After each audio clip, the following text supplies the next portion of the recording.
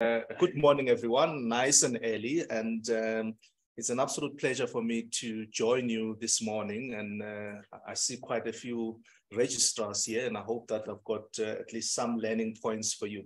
But the talk this morning is actually going to be more on the uh, publication we had this year uh, in the NHM uh, on the two-year outcomes on hemophilia A gene therapy. It's an exciting field that we are involved in, and, and certainly uh, it's real. Uh, for those of you who watch a lot of movies, it's this is actually happening in human beings. It's, it's not fictitious. And uh, if I could get, there you are. So these are my conflict of interest disclosures reflecting largely my interface with uh, a fairly large number of sponsors of uh, clinical studies that we do.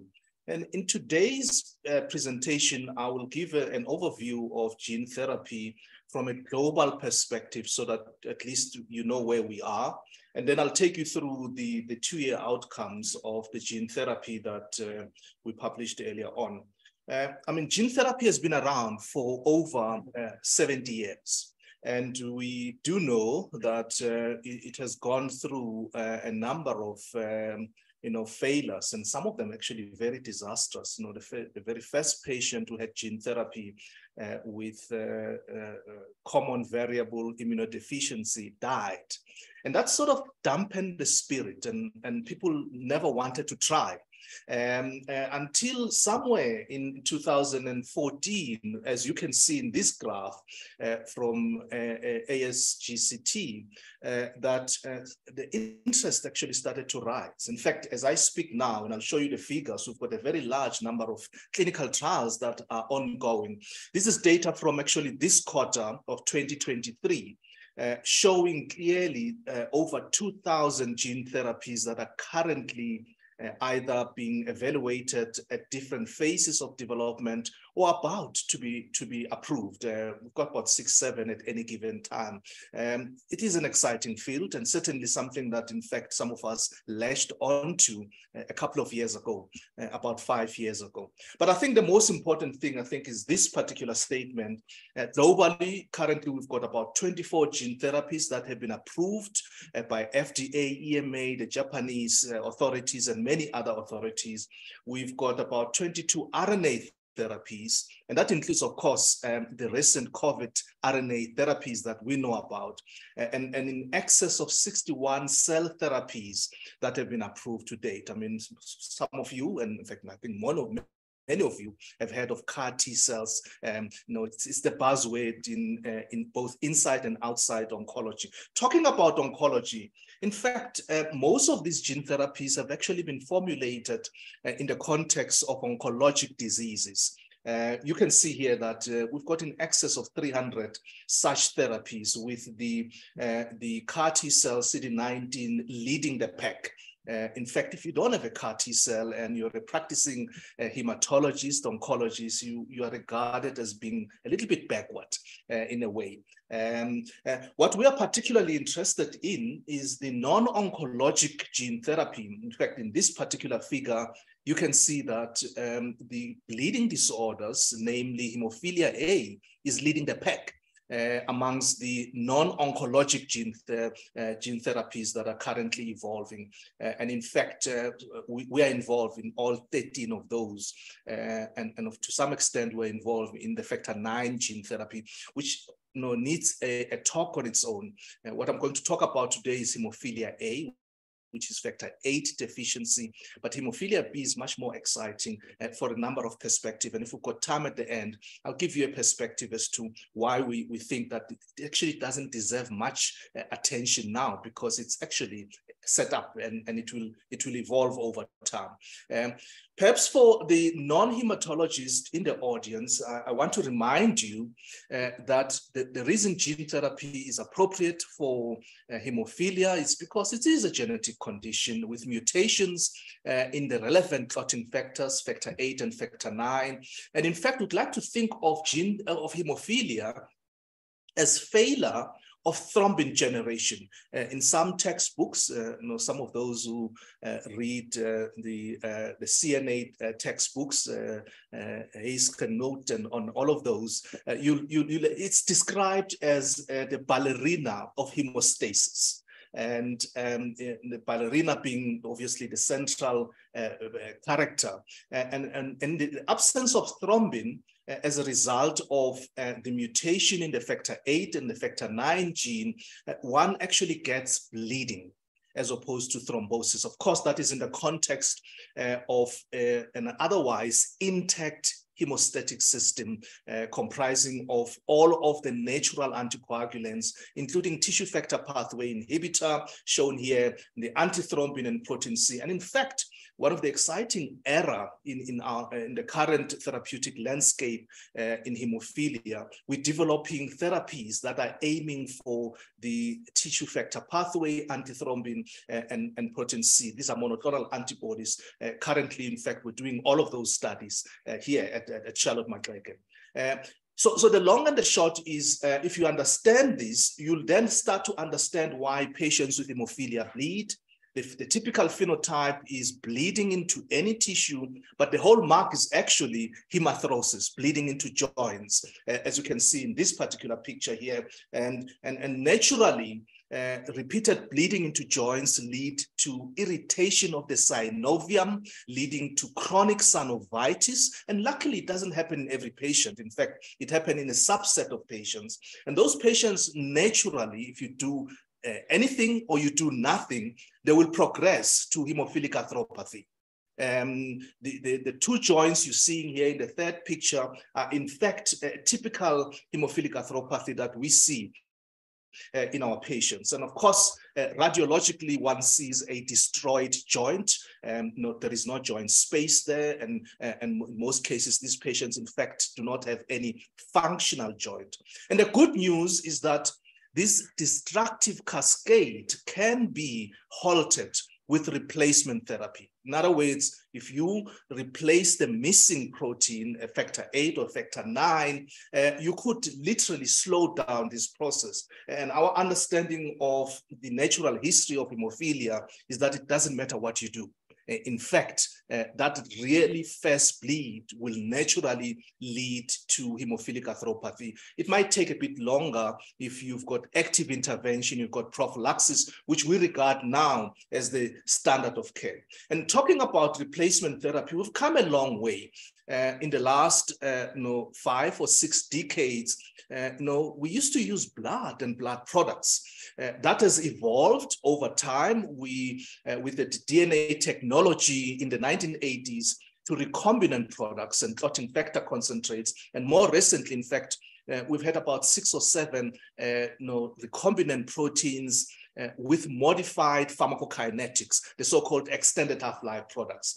And, and that has been absolutely exciting in the field. In fact, for a long time, we thought, okay, you know, patients with hemophilia uh, have reached the dead end. But uh, simultaneously with this um, evolution, in fact, we, we are seeing even better therapies, as I indicated earlier on. We've got a large number of non-factor replacement therapy. Um, the limitation with all of these replacement therapy are many. And I've listed three here. The one uh, that's probably the most important and the most feared is immunogenicity, the development of neutralizing antibodies against the protein you are replacing. So, so the patient will be cruising along every time they bleed, you give them the factor, and suddenly the factor doesn't work because they've got neutralizing antibody against the factor, the so-called inhibitor. Uh, not only is it feared, but it's extremely expensive uh, at the end of the day. The second one is um, some of you may not have been exposed to our clinic. By the way, we run a clinic Monday to Friday uh, uh, uh in 294. Uh, if you want to come and visit, in fact, you'll see all of these patients there. The patients, in fact, 99% of our patients can put up a drip and uh, give themselves intravenous infusion of the factor. But that is burdensome. Uh, at the end of the day, you need obviously to be committed to treating yourself as a patient, or the family needs to be committed to treating their child. But more importantly, uh, because we have embraced prophylaxis as the standard of care, uh, what invariably happens is that instead of the patients giving themselves regular infusion to prevent the bleeds, then they start giving up because their veins, in fact, uh, have given up. Just to give you an indication, uh, this typical regimen of prophylaxis is an infusion three times a week. Now, you'll agree with me that if you're giving um, infusion three times a week, uh, no, three times 20 years, we're talking about 3,120 infusions into a vein that wasn't meant to be cannulated 3,120 times. That's what I mean by the treatment burden. And that, of course, leads to non-adherence. But the, the third one is every time you give factor, you rise, the, the factor level in the body rises. And then over time, naturally, it will come down. and that's what we call peaks and troughs. and the reality with hemostasis is that you can't afford to have peaks and troughs. Uh, if you do have peaks and troughs, the troughs are the areas of vulnerability. That's when you get breakthrough bleeds. That's when patients, in fact, they'll be watching TV and then there's blood coming out of their eyes, for example. Uh, I've got a picture of one such patient, by the way. Um, so, so the reality is the large number of unmet needs with replacement therapy. And would like to believe that in fact, therapy uh, may well be able to address all of these uh, unmet needs. Just to remind you that uh, you know, gene therapy in its current form uh, is largely based on AAV-mediated gene transfer. And, and the reason we've chosen adeno-associated virus uh, are listed there.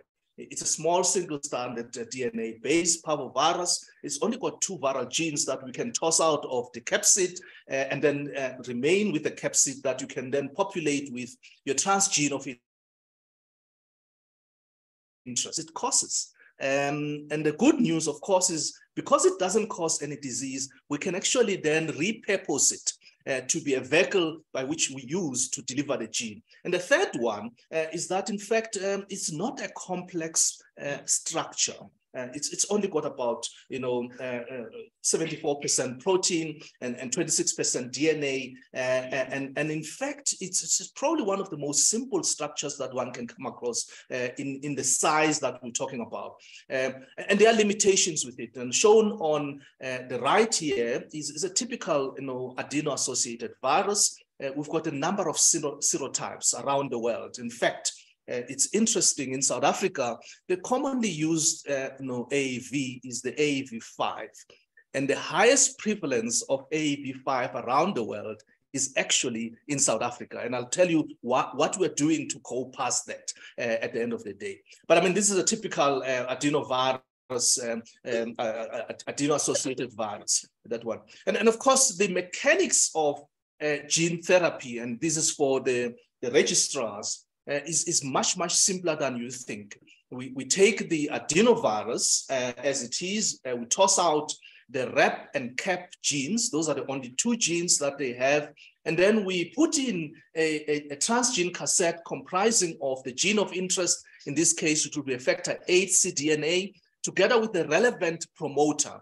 The promoter is modified such that it's got tissue specificity. In our case, in fact, it's got high affinity for the liver and of course the relevant enhancers. And then, of course, um, you know, as an outpatient, uh, this is in uh, room uh, 31, uh, area 454, the patients come in, uh, we infuse it over a period of two hours. Um, what happens when it gets into the body? Um, naturally, this is speculative because we have not studied this in detail, but we think that you know it finds its way to the, the liver, in the liver, it gets um, uh, internalized. Uh, uh, in that process, it gets you know, released. The DNA gets released. and it, in fact, it sits episomally. It never integrates. And I'll talk to the integration issue going forward. Um, it sits episomally in the nucleus and it uses all of the machinery of the liver to start producing proteins. And in fact, in about four to six weeks, uh, you start seeing the factor eight in the patient's body going up. Uh, and that is actually extremely exciting, by the way, when you see it for the first time. And, and that's basically the mechanics of gene therapy. And, and the exciting bit is that um, it, this particular area has been growing in leaps and bounds. Um, I'm showing you four of um, the publications in high impact journals that have uh, recently been published. And I'm not going to take you through all of them because uh, each one of them is unique. Some of them are phase one, some of them are phase two. Uh, and I'm just going to talk about this particular one, which is a phase three study uh, that we published earlier this year, uh, following up the, the, the phase uh, three study that we published last year, which was the first year of gene therapy. This is actually the second year of gene therapy. And I'll show you the results of that you know, study. So what was the study design? Relatively straightforward uh, study design. Uh, and, the, and, and, the objective here was to evaluate the safety and efficacy of valoctocogene roxaparvovec when compared to the standard of care, which is factor eight prophylaxis. And if you look at um, the dose that each patient received, a very high dose, uh, six times 10 to the 13 vector genome per kilogram, uh, as a single infusion, as I say, as an outpatient uh, over a period of two hours. Uh, who was included? Uh, there were two cohorts of individuals that we included. a very small cohort of individuals of about 22 uh, were actually directly enrolled into the study. And then the larger cohort of 112 were individuals that we had followed um, uh, for about uh, six to 12 months uh, to gather data for the purposes of comparison. In other words, their bleed rates, uh, how, how, often did they bleed, how much factor did they use, etc., etc., so that we can see the impact of gene therapy once they had received that. Uh, and in fact, the eligibility criteria were very simple. They needed to be uh, adult individuals, uh, 18 and above, uh, with severe hemophilia. They needed to be on some form of factor eight prophylaxis because that is actually the standard of care. We can't compare it to anything else other than the standard of care. And they, of course, needed to have no inhibitors that I alluded to. That is actually a, a limitation in replacement therapy. And then, of course, we, we did a large number of screening on these patients to identify those with without pre-existing anti-AAV antibodies. And, and in fact, a large number, I'm talking about almost 150 of our patients went through the screening. We identified about 60 uh, of, our, of our patients. And we, because this is a liver-directed gene therapy, we just wanted to make sure that there was no liver pathology uh, uh, existing at the time when we're doing gene therapy. You can imagine if you're doing a gene therapy in someone with liver cirrhosis, it just won't work because the capacity of the liver, the liver is limited. And then, of course, the, um, the for the first year, uh, we thought you know, the most reasonable thing to use as an endpoint was the factor eight level rising. Um, and in fact, that's what we did. Um, when we consulted with FDA, uh, FDA didn't like the idea anymore, and, and for a number of reasons. Uh, they decided that, in fact, in the second year analysis, we must actually look at the bleed rates. And the reason, the main reason why they moved away from the factor level, in part is because uh, a large number of patients showed variability. And one could not objectively tell if, in fact, gene therapy was effective Whereas if you looked at a patient who was a bleeder six months to a year before, and you compare them to post gene therapy, you can easily tell if they bleed or they don't bleed.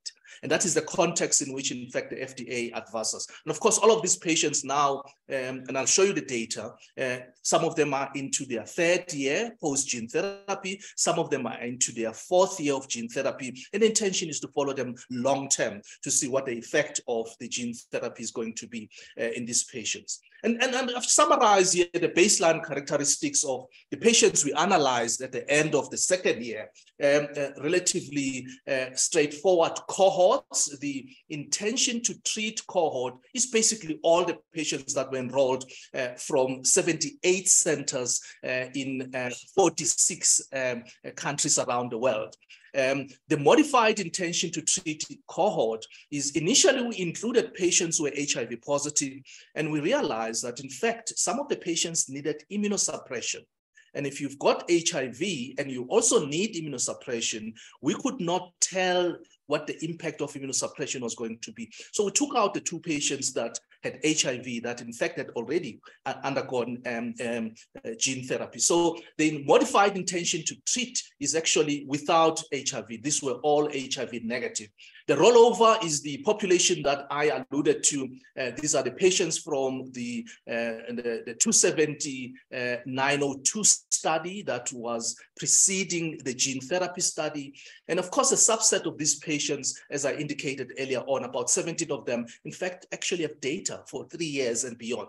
I've presented some of that data earlier this year in some of the congresses um, uh, and perhaps uh, I could go back here that we, we basically enrolled quite a, a large number of our patients uh, locally. Uh, we contributed a cohort that otherwise would not be seen in the context of gene therapy around the world. And, and you'll see that, in fact, we did not exclude patients with a past medical history of chronic infection, as long as that infection did not compromise liver structure and function. So if you've had a previous hepatitis a, B, or C, and you recovered from it or you're immune to hepatitis, we could include you provided, um, you know, we could demonstrate, um, you know, through uh, imaging that the structure was okay and the liver function, in fact, could be vouched for. Uh, we also uh, looked specifically at individuals' uh, joint status, as I showed you initially there. Uh, there was a variability there. Some patients had one, two, three, and more joints that were affected. We wanted to see, in fact, if there was any progression, in other words, from one joint to the next post-gene therapy uh, at the end of the day. Um, in fact, the age, as you can see, is a reflection of uh, the adult population that we looked at. And you'll agree that, you know, if you, someone is 30, they are relatively young. They are individuals that want to, you know, for the next 70 years, if they live up to 100, to actually have a relatively normal life. And, and I must admit that, in fact, some of those are looking at that prospect of having a normal life with a genetic disease uh, at the end of the day. So what were the results? Um, specifically, we looked at the annualized treated bleed rate comparing post-gene therapy uh, to factor eight prophylaxis. Uh, this is now the, uh, the, the, subset of patients where the rollover from the 27902 the 112 patients, you can see here that in fact, um, if one looks at year one and year two, uh, the annualized bleed rate was very small, less than one bleed per annum, compared to when they were observed with the best standard of care, uh, they were getting five bleeds per annum. So we reduced that, in fact, almost by 100%. Um, if one looks at the proportion of individuals that did not bleed at all, it's a new parameter that we introduced about eight years ago uh, in our field to basically gauge the impact of the interventions we have for our patient. You can see that 82 and 84 for year one and year two, respectively, compared to 32%. Uh, in other words, a third of the patients who were receiving the best care that we could give uh, uh, did not have bleeds. In other words, two thirds of the patients were still bleeding with the best care. And as soon as they received gene therapy, uh, in fact, that number changed completely. And that is, in fact, probably the reason why the FDA was interested in that. And if you look at the difference between 4.8 and year one and year two, you can see that, in fact, it is statistically significant, uh, 85% reduction. And the median figures, in fact, are consistent with those uh, mean figures that one sees. Um, if, if one looks at the utilization of replacement therapy or prophylactic use of the replacement therapy, uh, in fact, it has reduced. These are individuals that would wake up every morning and think about their hemophilia.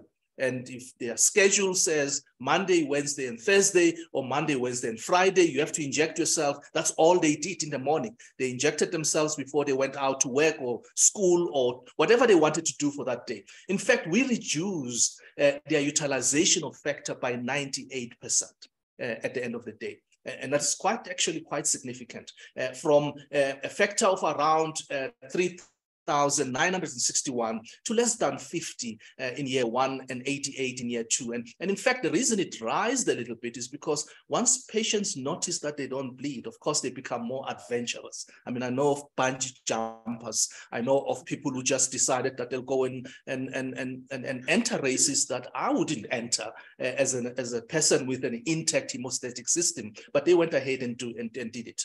Um, so if one looked at um, a subset of those patients that went on, in fact, to year three. Remember I said there were a small subset of patients that we've now uh, analyzed. The results, in fact, are not different. 80% reduction in treated bleeds uh, by year three when compared to baseline, baseline being uh, the 270-902 uh, cohort, uh, the rollover cohort. Uh, you can see here that, in fact, their bleed rates remain run about one or less uh, at the end of the day. So essentially, we're talking about someone who bleeds once every 12 months compared to five bleeds uh, that they used to have on average. This is now with the best care that we're giving them uh, at the end of the day. And if one looks at um, the reduction uh, in the factor eight utilization at year three, uh, you can see that in fact it's creeping up a little bit. And, and as I say, part of it is because of personalities involved. Uh, these people were denied to be children. They never played. They were told that you cannot be a normal child. And suddenly, uh, some of them as teenagers and some of them, in fact, as adults, they actually want to rekindle their childhood. Uh, they are doing things that they just could never do before. And, and that's probably the reason why you, you see the, the utilization rate going up a little bit. And in fact, uh, this is a slightly different perspective of the efficacy data that shows the factor eight activity as measured by the chromogenic substrate assay. When you send a, a tube, uh, a citrate tube to the lab, we usually use a one-stage assay. The chromogenic assay is actually the global standard against which we calibrate the one-stage assay. And the reason we don't use the chromogenic assay on a routine basis is because it costs an arm and a leg. It costs about uh, 10 to, to 15 times the one-stage assay. And if you were to translate these figures um, the chromogenic assay, um, in fact, to get the uh, one stage assay, you multiply by 1.6 and you know to get the right figure. So what you're seeing here is probably less than what I would have measured uh, when they visited us here. But the bottom line here, in fact, what I wanted to show you, uh, this graph shows the mean factor eight activity as a function of time post gene uh, infusion. At the end of year one, the mean was 42% and the median was uh, 24%. At the end of year two, uh, the mean was 23% and the median was 11%. Uh, all of us agree that the graph is self-explanatory. There's no doubt that you go through a peak and then it starts going down. And there are a number of reasons for that. And part of it is because you know you lose some of the, um, the transgene uh, uh, uh particles. and in fact, I'll show you a slide later on our speculation of what processes take place in the liver that may well result in this going down. And I must admit that this is unique to factor eight gene therapy. If I were to show you the factor nine gene therapy, uh, the factor nine rises and it stays the same consistently.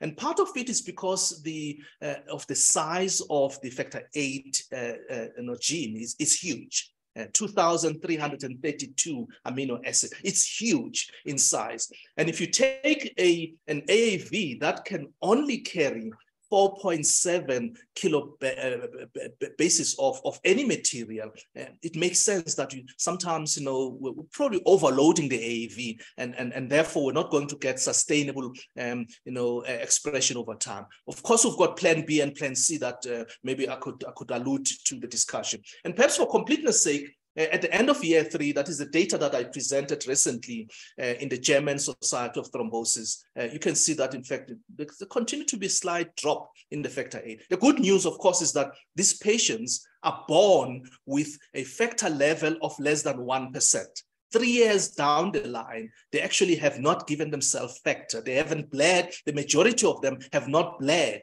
uh, uh, post gene therapy. So even though it might be dropping, we are seeing huge impact in the patient's of life, in the way, in fact, we manage them. We hardly see them. And, and, two patients, in fact, I've had to send the police to go and collect them because they just refuse to come to hospital um, at the end of the day. No, I don't send police. Uh, we're very polite. We, we do ask them to come, please, because they are part of the study and we actually do want to collect data so that we understand what we've done to them at the end of the day. I think that the question in your mind now is, how long will this last? Um, we don't know.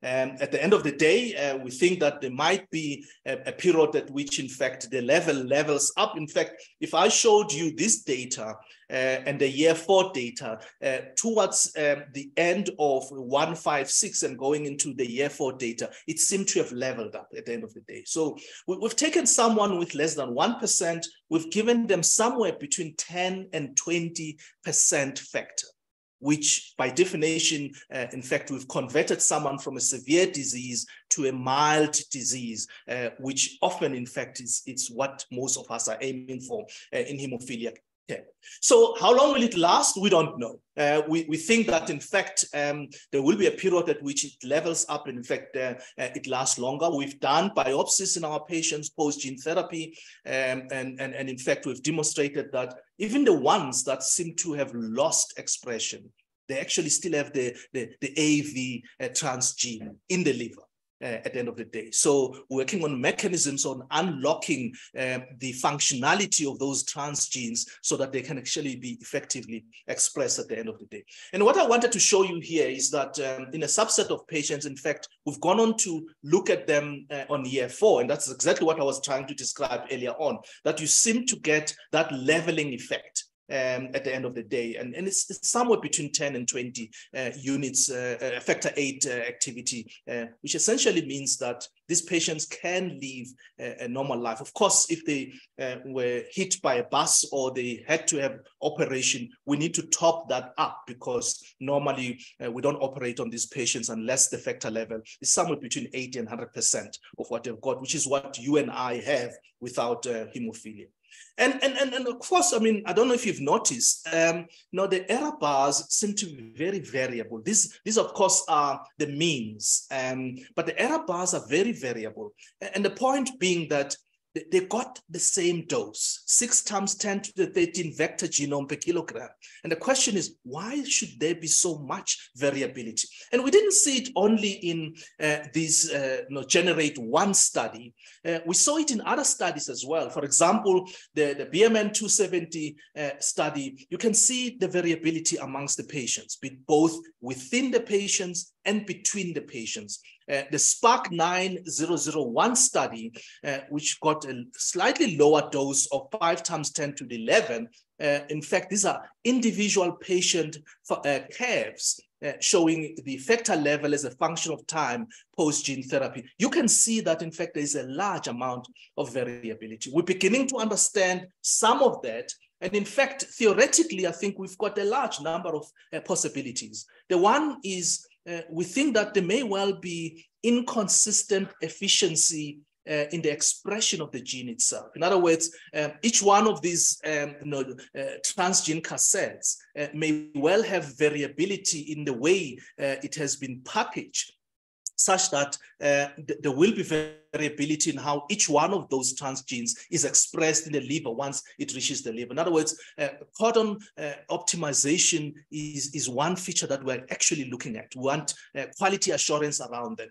We also, uh, know, in the context of uh, uh, at least factor nine, uh, no, the reason why it remain like that is that each of the factor nine gene therapies are using the so-called hyperactive variants, the PADUA factor nine. Now, the PADUA factor nine, what it does, it basically uh, it puts uh, gas onto the expression. Um, you know, you get 10 times what you normally get as a normal expression, and therefore you don't lose any expression. We have just formulated the first hyperactive factor 8 variant. And, and we're about to put it into uh, one of the transgenes that are going to be obviously um, you know, used in the, in the future.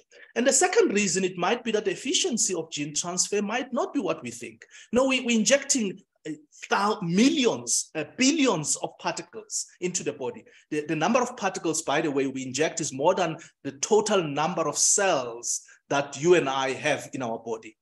And, and it is possible that most of these, in fact, are not getting to where they want to, where we want them to go, uh, which is the liver. Uh, uh and of course, I mean, you, you, guys are not familiar with this. Uh, post uh, gene therapy, we monitor the shedding of the viral particles.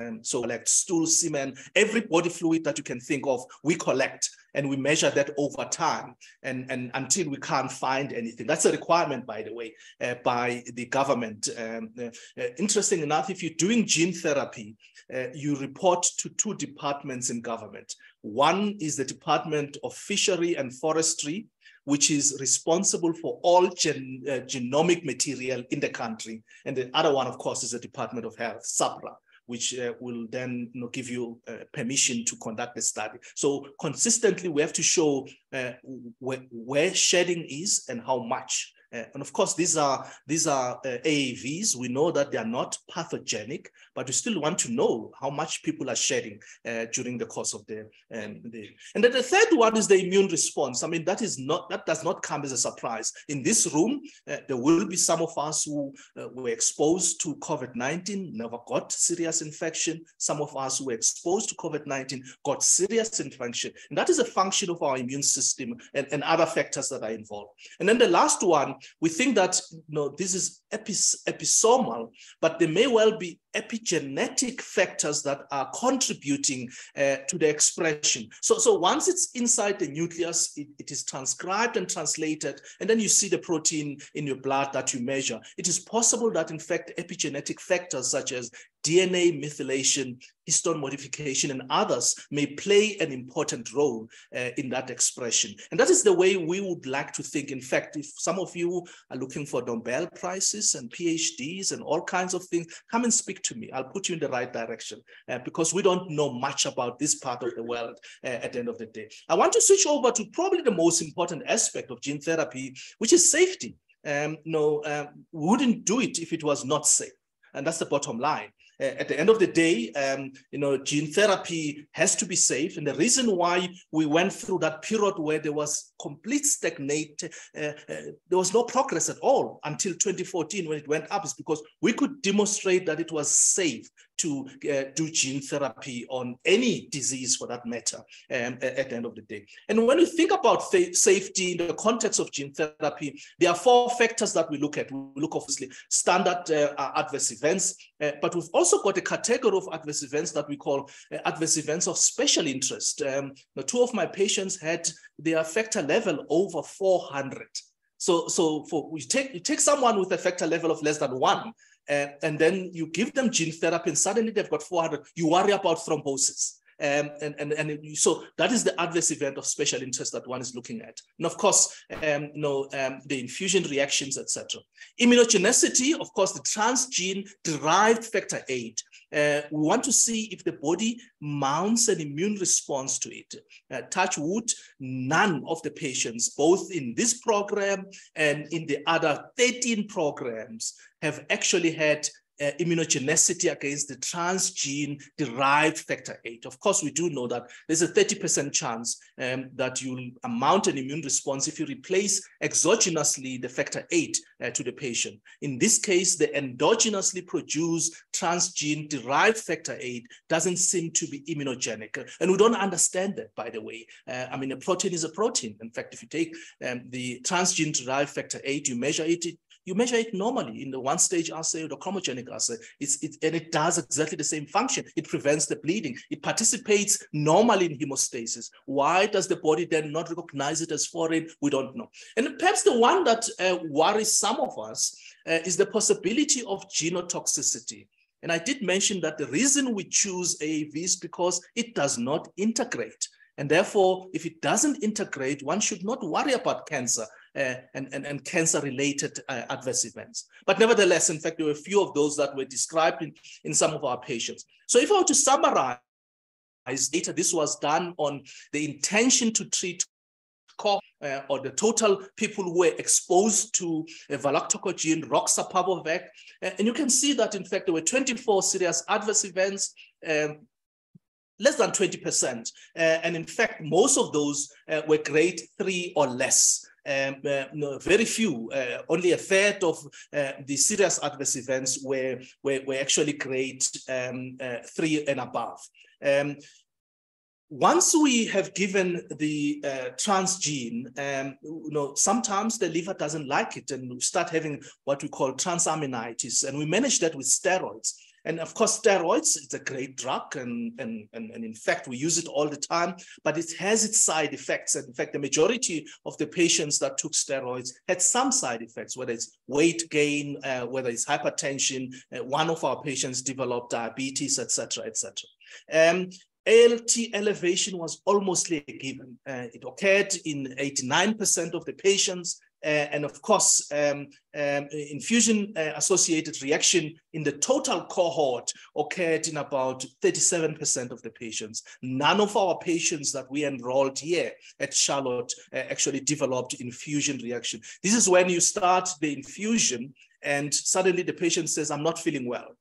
And, uh, and then you slow it down and they say, it's getting worse etc. We never experienced that uh, in the cohort that we enrolled in uh, in our patients hypersensitivity in 5% of the patients developed anaphylactoid reaction. Um, the good news is that, in fact, for those patients that overexpress the factor, not a single one developed thrombosis. In fact, uh, in one patient who lives in Benoni, uh, we, we were bringing the patient every week and, uh, and doing um, uh, ultrasonography to just make sure that we're not missing a thrombosis because his factor level went up above 400. And, and as you know, the, the higher the coagulation factor, the more likely that you'll develop a thrombosis. And of course, uh, his factor level has come down now to about 250 and he's fine. And, and we never put him on anticoagulant. To do very strange, by the way, uh, to take someone who's a bleeder you'll never anticoagulate and suddenly you you need to anticoagulate because you've overcompensated uh, for the factor that um, um, you know uh, is overexpressed um, in the context of this report, there were no malignancies uh, that were associated with gene therapy. Of course, there were a number of malignancies that uh, were reported when patients were post gene therapy. And those were intensively investigated, and there was no link between the, um, the AAV and the integration and the insertion, uh, possible integration and insertion, and the, develop the uh, development of those malignancies. And if we were to summarize the, um, the, the safety profile, fact, none of the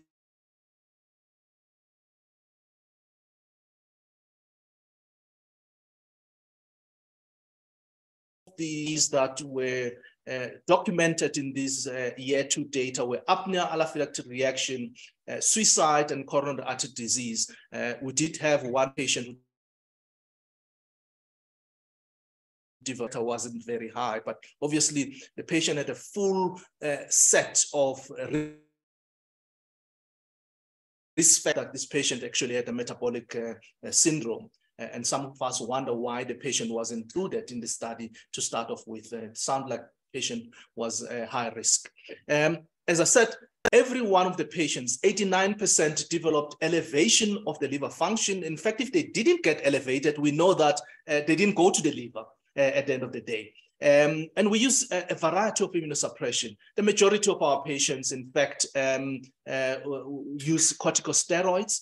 Um, and, and in a small subset of patients, uh, this center, we use tacrolimus um, you know, to try and control uh, the elevation of the ALT.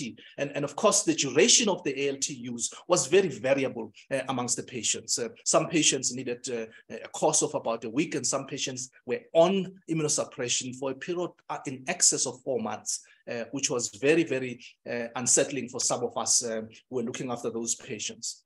And, and I wanted to perhaps give you a context. Um, these are other studies um, and perhaps to just give an indication to put the safety data into context. If one looks at uh, the five studies, uh, all of these are gene therapy, by the way, comparing this study to the other study.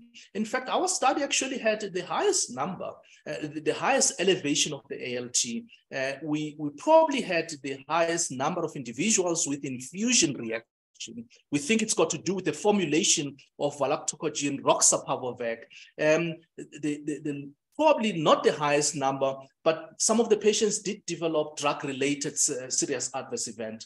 Um, uh, two patients, three patients developed anaphylactic reaction. And the good news is that none of the patients across the range of studies have ever developed uh, thromboembolic events or uh, neutralizing antibodies against the, the transgene uh, derived factor eight uh, at the end of the day.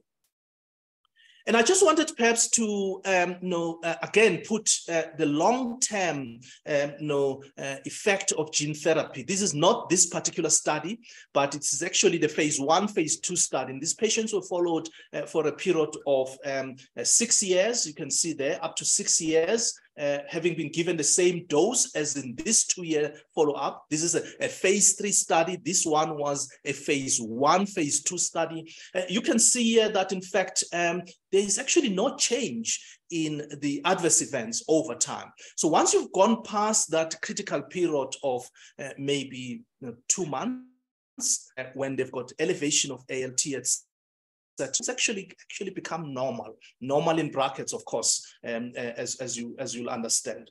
Um, so so that is an important context. So if you're asking the question do the patients benefit? And the answer is yes they do benefit significantly because one can see from um, the profile of adverse events that in fact one is one is actually not in any way uh, compromising the patients. And i did promise that uh, no this is the talk about him but I will make for hemophilia. Uh, the gene for hemophilia B is very small, so it can fit nicely into uh, the AAV. There are no issues. And in fact, this comparison uh, probably is the best that uh, one could uh, make. Uh, if one looks at the, um, the eligibility criteria, they were similar, uh, except that in fact, in the context of the hemophilia B, they included patients with neutralizing antibodies, and it worked. So, so that actually says a lot about um, the kind of transgene derived fine that you produce, that it may well be immune to uh, the pre-existing antibodies. The highest dose that was used, uh, slightly higher in the case of hemophilia A. And the reason for it is because if you use lower doses, in fact, you get even less uh, expression of your factor eight. Uh, whereas um, the, the, the, hemophilia B, uh, the dose was two times 10 to the 13 vector genome per kilogram. And of course, uh, the hemophilia B uses a Padua variant. Uh, we use a B domain deleted factor eight. And the reason we remove the B domain out of the factor eight is so that it can fit into that uh, 4.7 kilobases of the of, of the AAV. And the long-term follow-up, in fact, I've got two patients with hemophilia B who got their gene therapy in London in 2009, and um, they're still expressing, and, and there has not been any change. And if you ask how long will it last, I think for hemophilia B, more than 10 years. Uh, for hemophilia A, we, we think that it's at least a year, and monitor is that in the case of hemophilia A, uh, one sees a slight drop over time, whereas in hemophilia B, in fact, the level, it's truly a, a one and done uh, procedure. You just give the infusion, the patient walks away, and they probably don't need it. We might need to repeat this procedure for the hemophilia B patient, uh, for the hemophilia A patients, and we're still working on strategies on how to approach them. And uh, finally, I want to talk a little bit about genotoxicity. Um, no, it is a non-integrating uh, virus, and we've shown that in many instances. And in fact, even if it integrated, you know, think about it. We've tossed out the, the rep and the cap genes, so it doesn't have any genetic material. So what will it do if it integrated? Probably nothing.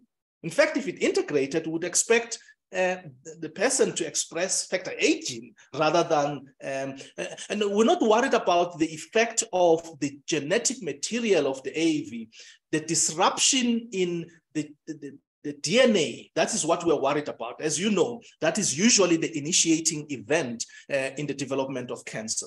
And there's been some worrying trends that one has observed. Uh, in neonatal mice, uh, they actually found that with AAV, there, there was a, a, large number of integrations that one could see. Some of those, in fact, are shown here next to the albumin locus. There were 68 um, um, uh, integrations in this particular study. And next to the alpha fetoprotein uh, gene, there were 23 integrations. And of course, you know, needless to say that, you know, you know humans are not neonatal mice. Uh, humans are probably very close to uh, higher forms of, of, of, of, animals like dogs. Um, and, and, and in fact, when this was studied in dogs, um, uh, using a variety of technology, uh, we, we came to the conclusion that there may well be uh, an element of clonal expansion as well as an element of integration uh, that one can demonstrate um, in dogs. Um, and of course, you know, dogs are dogs. Again, they are not human beings. We don't know what the impact of those integrations and um, uh, uh, mean in the context of AAV gene therapy. Um, what, what we've done recently, and, and this is a very, very large cohort of hemophilia A dogs, uh, in David Lillicrap's lab in Canada, uh, they've, they've basically done postmortems to see, in fact, if any of these dogs uh, who were obviously the lifespan of a dog is somewhere between 10 years and 20 years. Uh, the ones that died, uh, was there any evidence that in fact they had developed any form of cancer? And, and their conclusion was that actually there isn't. So with the current knowledge that we have, we do not think that uh, oncogenicity is a, a, big issue. Having said that, uh, in a number of these gene therapy studies in hemophilia A and B, uh, you know, quite probably by accident, some patients did develop cancers. Um, there was a squamous cell carcinoma in the BEX uh, 335 uh, trial not related to uh, AAV. There was a hepatocellular carcinoma in the HOPE B study, that is the hemophilia B study. Uh, and in fact, extensive investigation showed no link between the development of hepatocellular carcinoma and um, the gene therapy that was given. In our own study, there were two patients, one developed an Usner cell carcinoma and the other one developed a BALL uh, I mean, with the BLL, it was not difficult. We know that there is a marker um, for the, um, you know, that drives the, the BALL, and it was easy to demonstrate, in fact, that that marker uh, was not in any way influenced by uh, the, um, uh, the, the, the gene therapy that the patient received. So overall, um, and, and, I've summarized here because each one of these is an extensive investigation. We have not demonstrated carcinogenicity related to gene therapy. So if I were to summarize and perhaps uh, stop, um, uh, I've shown you that replacement therapy, which we regard as the standard of care, uh, in fact, has got uh, significant limitations and unmet needs. Um, investigational gene therapy, we're calling it investigational. In fact, it should actually be called therapeutic gene therapy because two of those gene therapies have recently been uh, approved by the FDA. Um, the hemophilia B and the hemophilia A gene therapies are now commercially available. Uh, as uh, Roctavian. This is now the uh, hemophilia A gene and Hemgenix, which is the hemophilia B gene, you can actually go and buy it off the shelf ask your doctor to give it to you. Um, we think that, in fact, given uh, the, the, the data that we've got, the overall risk-benefit profile favors that we continue to do gene therapy in the context uh, of um, the patients with bleeding disorders, in particular with hemophilia A. And of course, additional investigation is required. And I'm particularly excited that we're moving away. This is actually gene therapy 101. We are moving into CRISPR uh, Cas. Uh, we are now uh, exploring ex vivo gene therapy. And those, to me, in fact, probably uh, most exciting than the gene transfer using AAV, given our population that in fact uh, the uh, anti-AAV antibody rate is very high in South Africa. With that, I would like to thank you for your attention and I'm happy to take questions, Zerat. Thanks, Prof.